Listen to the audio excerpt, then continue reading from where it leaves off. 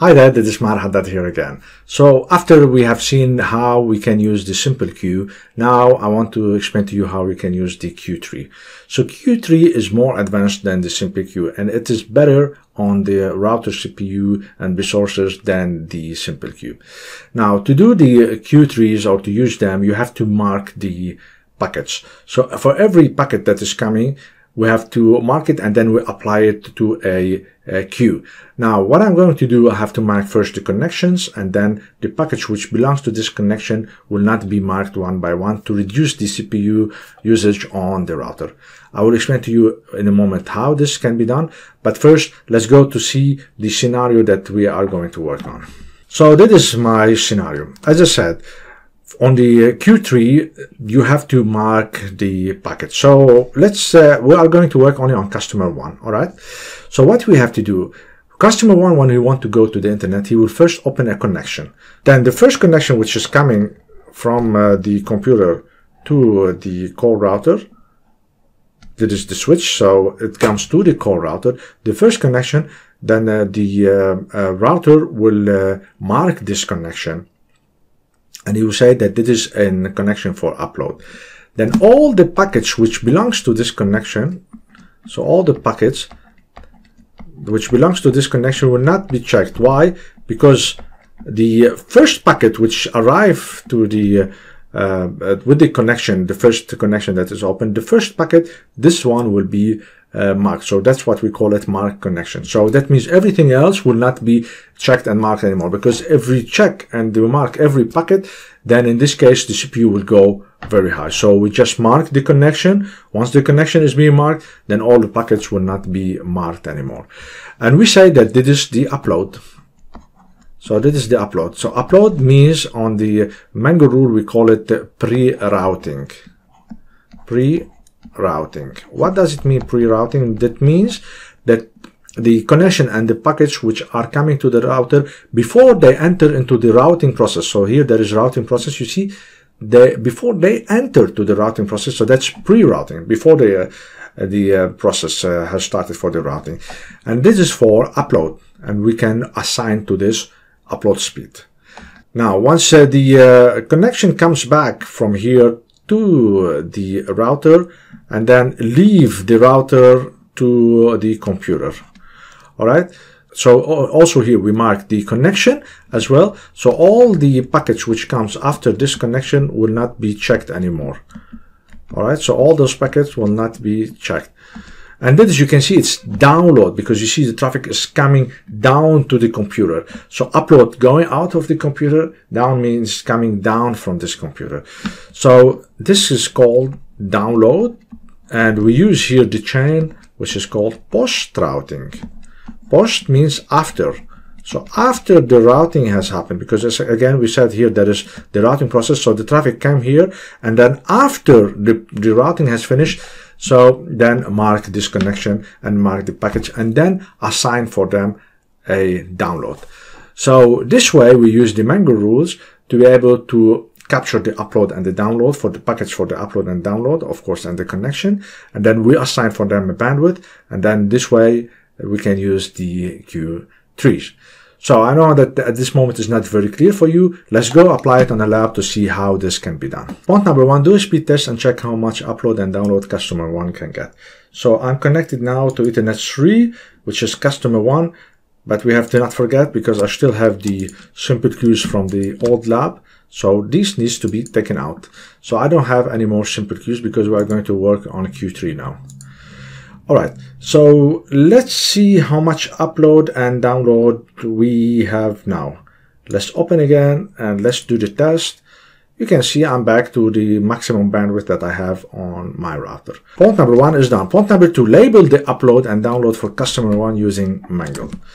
So we have now to work with the pre-routing and post-routing. Remember, pre-routing means upload, post-routing means download.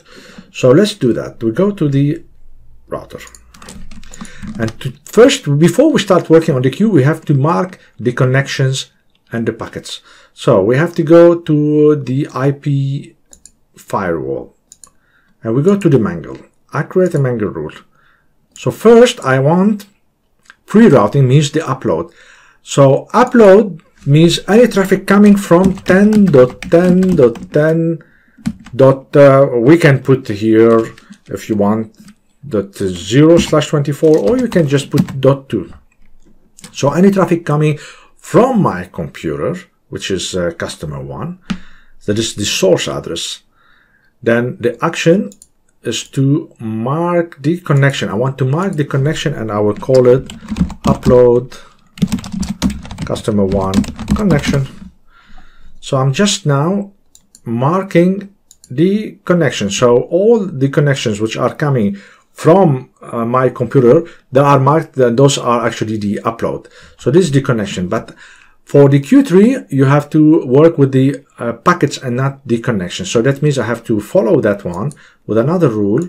Also pre-routing, I say pre-routing anything which is inside the upload connection, uh, upload customer one connection as connection mark then action is to mark the packets and here you can call it upload customer one packet. All right? So that means what is happens here so the first connection that is open here it is being marked and then all the packets which are belonging to this connection they will not be checked anymore. All right? So this is the the second one. So this is for upload. Now we have to do for the download. We have to create another one and we have to mark also but first we have to put the chain which is as we said post routing after the routing is finished and the destination is going to 10.10.10.2 so again if we go back to the picture so now the router is looking on the traffic going to 10.10.10.2 so this is the destination. The destination is 10.10.10.2 now. All right. So post routing, and now we have to say here mark the connection, and we call it download customer one connection. Very good. So this is done.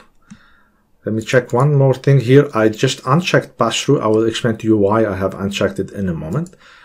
Now, we, we mark the download for the connection. We have to mark the download for the package which are belonging to this connection. So I make another one and I will have to say here post routing all the packages which are part of the connection mark which is download customer one connection then mark them and then we call them download customer one buckets. Now, why did I take out the pass-through on the on the uh, marking of the packet and not on the connection?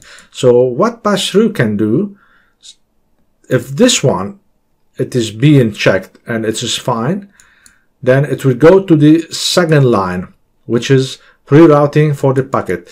So if this one is being checked and it is matching, then it doesn't go anymore to the third line and the fourth line because this is we took out the pass through so if it's checked it's matching it stopped going down through the sequence that we have over here same here if it's post routing then it is checked that it's connection then it go to the second then it is checked and it match it is uh, now the packets are being uh, marked then it doesn't go anymore down but actually this one doesn't have any rule after it so it's not important if you leave the pass through or you take it out very good. So this is uh, done now. We are, you can see it's already the bytes and the packets are being increasing because we are marking their connections and their packets.